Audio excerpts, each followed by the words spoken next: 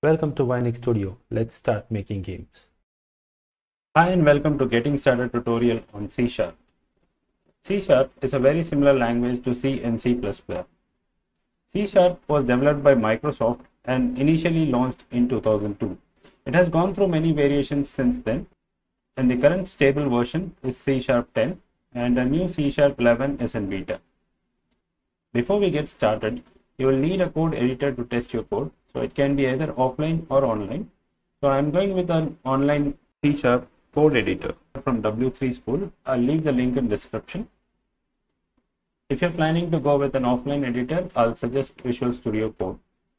There are some basic building blocks of C Sharp that you should know about. So let's start with namespace. Namespace is a bunch of pre-written code that you can use in your code directly.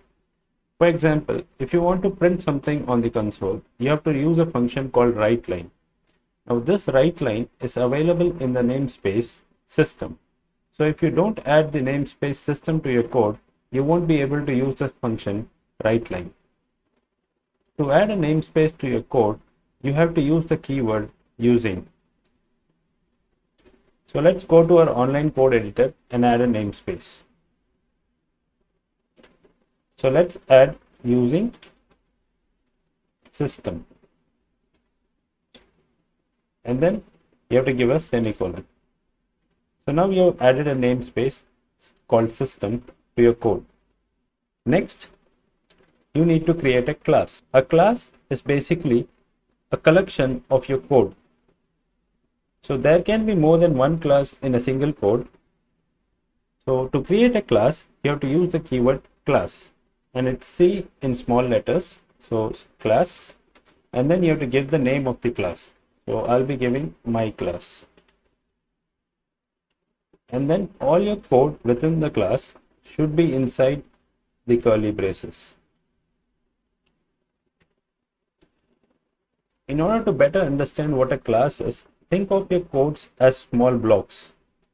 Class is a big container that has all your small blocks. So you can have more than one container, but it is a way to group your similar codes. Now we have created a class called my class. Inside the class, you can declare variables, you can create methods or functions, and then you can create loops and logics. So first, let's try to declare a new variable. Variables in your code will hold the values and the type of value will be defined by the data type of the variable. So data type can be an integer, float, string, character, and a lot more. But these are the basic used data types. So let's go ahead and create a variable of type string and give it a name Vionix Studio. So you have to give the data type first, string, and then you have to give the name of the variable that is my name and then you have to assign it a string should be assigned within double quotes so it is Vionix studio now I have created a variable called my name and assigned Vionix studio as the value to it. Next every class should have a main function and the main function is called by default. Functions inside a class can be public or private. If a function is public, then it can be accessed by other classes and if it is private then it can be accessed only by objects inside the class. By default, a function is always set to private. A function of a class can also return a variable and also take variables as input.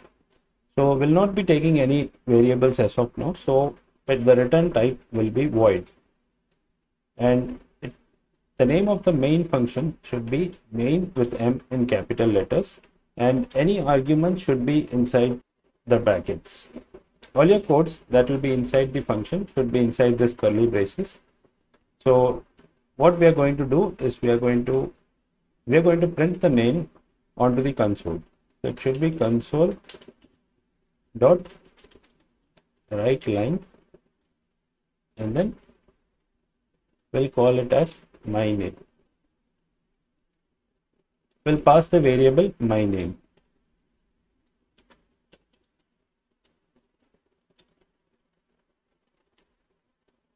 Now, the code looks all good, but there are a few issues with this code. First thing, you need an object of the class to reference the non-static variables or methods inside the class. So both string and this method main are non-static. We need to create a new object for the class in order to reference my name. So to create a new object, you just have to say my class, the class name. Then you have to give the object name. Let's call it A. It's equal to new my class. And then semicolon.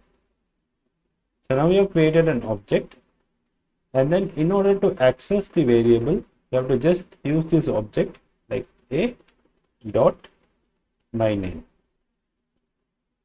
And the other problem with this script is all main functions inside a class should be of type static.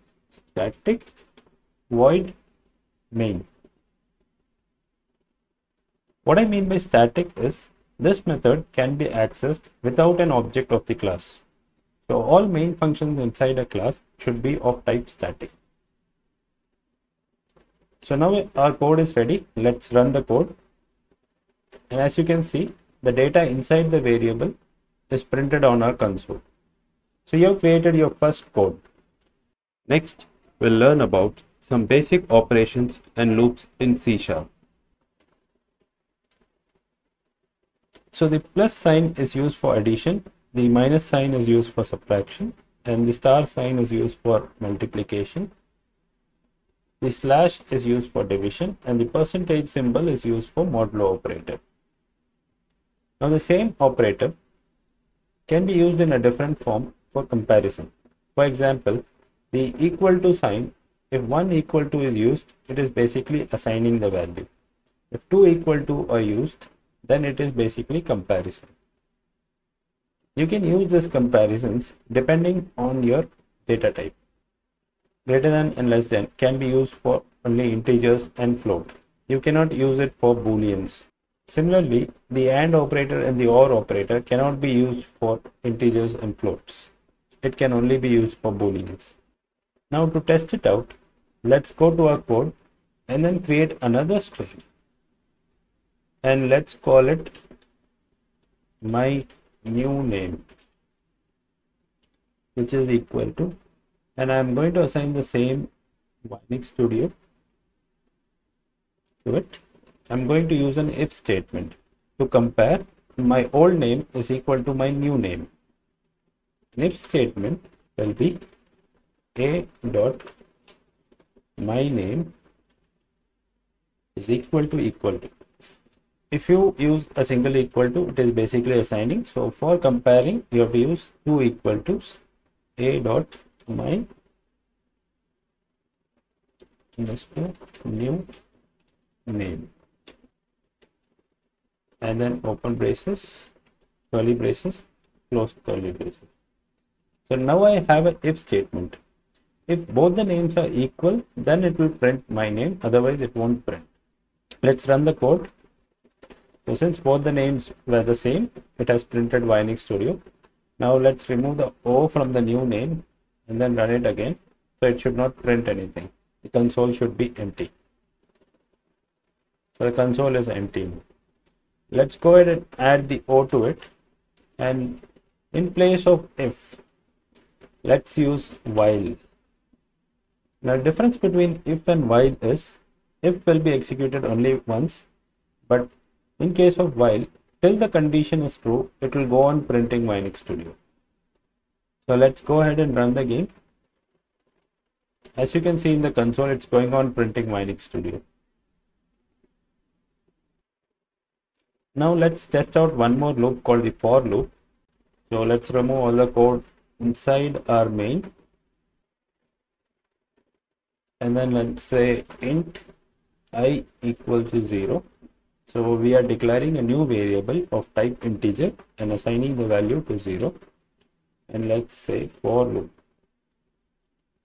Inside the for loop, the first one should be an initialization. So we have to say int j equal to 0 and the next should be the condition so let's say j is less than 5 and then it should be increment so j plus plus